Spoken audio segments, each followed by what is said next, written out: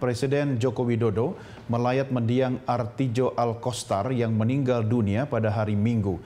Kepala negara menyampaikan duka cita mendalam atas berpulangnya salah satu putra terbaik bangsa tersebut.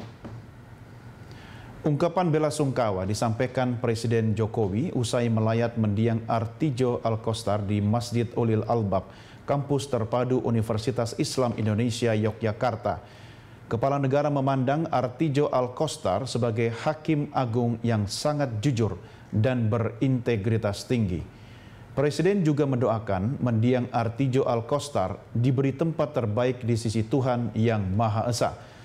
Anggota Dewan Pengawas Komisi Pemberantasan Korupsi Artijo Alkostar meninggal dunia karena sakit.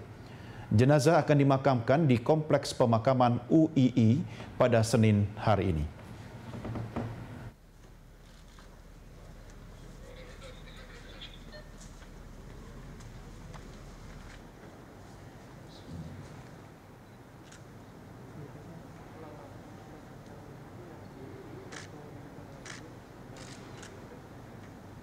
Sayyidina Muhammad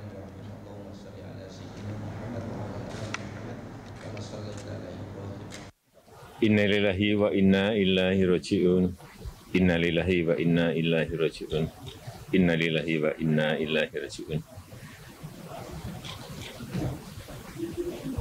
Kemarin hari Minggu telah berpulang ke rahmatullah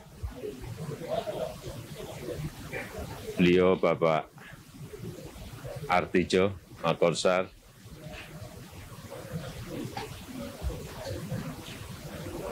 Kita telah kehilangan putra terbaik bangsa.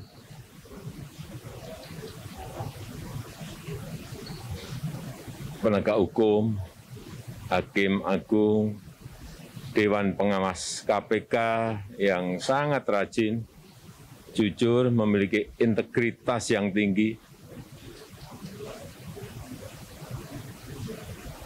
Semoga arwah almarhum diterima di sisi Allah Subhanahu wa taala, diberikan tempat yang terbaik di sisinya. Amin. Atas nama pemerintah, kami menyampaikan duka cita yang mendalam.